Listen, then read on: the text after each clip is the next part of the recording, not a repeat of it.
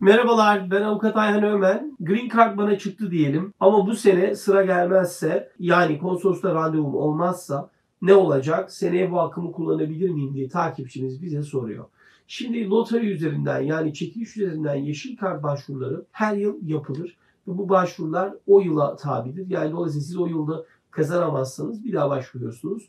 Eğer o yıl seçilirseniz fakat süreniz gelmezse o yılki hakkınızı kaybediyorsunuz ve gelecek yıl yapacağınız başvuruda tekrar baştan yeni bir başvuru yaparak ilerliyorsunuz. Yani yoksa onu işte kullanamadık hakkımızı ya da konsoloslukla randevu yetişmedi deyip ötesine geçme durumunuz mümkün olmayacaktır deyip takipçimizin sorusunu cevaplamış olalım.